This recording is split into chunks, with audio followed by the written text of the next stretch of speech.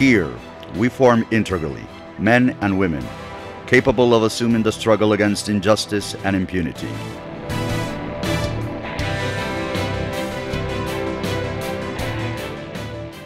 Their challenge?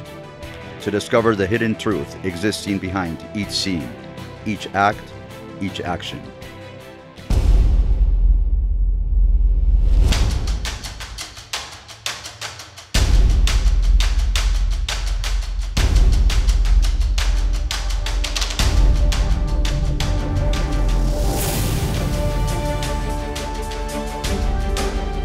These young men and women are committed with the construction of a nation under the values of justice and respect, supported with great technology and scientific advances to struggle against crime and terrorism. Trained with all the forensic and investigative scientific techniques, these youngsters respond to the challenge of aiding the judicial system with theoretical and practical principles based on science and freedom of thought.